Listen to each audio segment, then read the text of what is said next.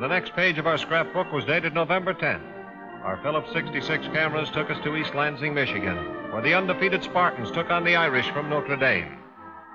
And it didn't take the Irish long to know that it was going to be a very rough afternoon.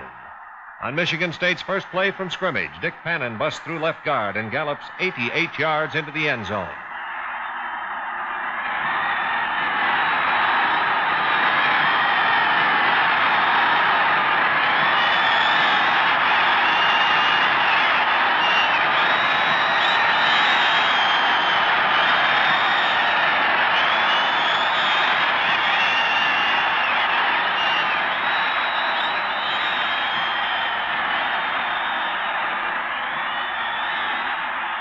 Then it was Don McAuliffe busting over left guard for 23 yards to set up the second Michigan State touchdown.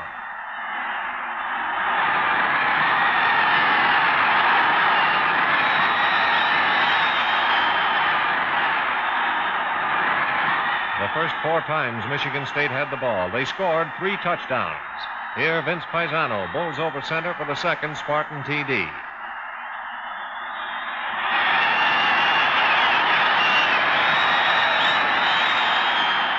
And their third touchdown was scored in much the same manner.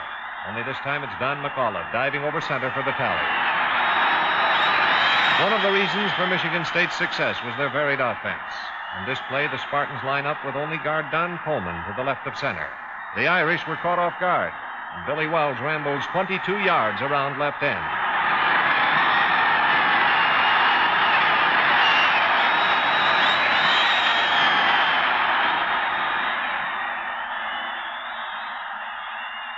In the third quarter, after another sustained drive, the touchdown minded Spartans are again within the Notre Dame five yard line. Al Dorow passes complete to Bob Carey for their fourth score.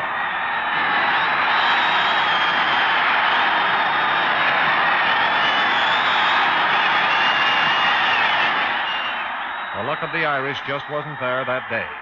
The Notre Dame pass is intercepted nicely by Ray Vogt and returned 23 yards to the Notre Dame 31 yard line.